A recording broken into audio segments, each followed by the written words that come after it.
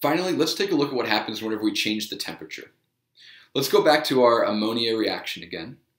And this time we need to know something extra about it. We need to know whether it's endothermic or exothermic. It turns out the formation of ammonia, in other words, the forward reaction, is exothermic. You might also just know that the delta H in this case is negative, and so you would have to identify that a negative delta H means that this is an exothermic reaction. Now, anytime we're dealing with Le Chatelier's principle and a change in temperature, we need to figure out whether the energy is put in to the reaction as a reactant in order to get our product, or if energy is released as um, a product.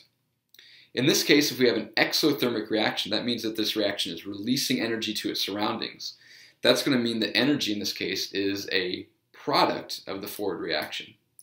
If this were an endothermic reaction, we would write plus energy on the reactant side because we need to put energy in in order for this reaction to proceed forward. So that's the first step we have to do is identify that. Now, we'll just treat that energy as any other species in the reaction when we're dealing with Le Chatelier's principle. If we were to increase the temperature, that's the same thing as increasing the energy. Well, if I increase the energy on the product side, that's going to shift the whole reaction to the left. And if we shift the reaction to the left, that means that nitrogen and hydrogen concentration will increase and therefore ammonia concentration will decrease. The corollary to that, if we were to decrease the energy, in other words, if we were to make the reaction colder, that would shift the reaction the other way. It would shift it to the right. Now, one important thing about temperature, whenever you change the temperature, unlike changes in concentration and changes in pressure, a change in the temperature does affect the K value. In this case, since we shifted toward the reactants, the K value is going to decrease. If we were to shift it toward the products, that would mean that the K value would increase. Because remember, the K is the equilibrium product concentration over reactant concentration.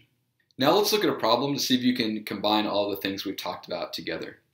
In this reaction, we have carbon dioxide gas combining with calcium oxide solid to produce calcium carbonate solid, and that exists in equilibrium.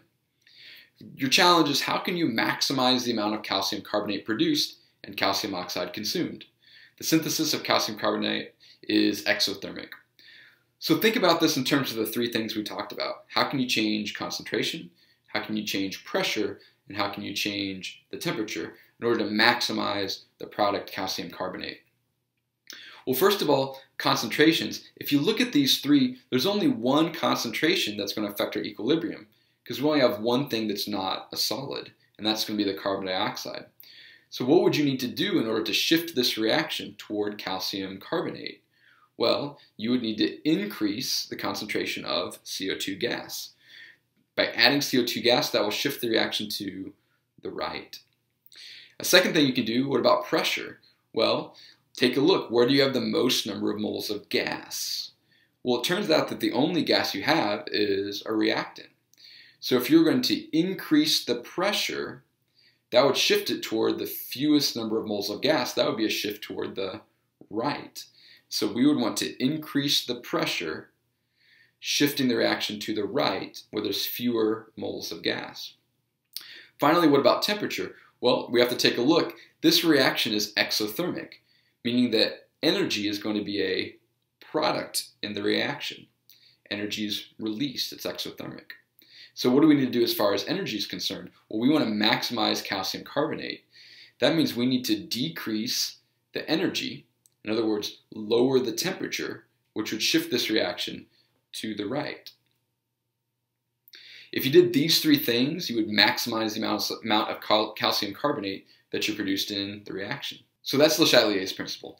I know that was a lot, but it's such an important idea in equilibrium chemistry, and I hope you had as much fun with the video as I did making it.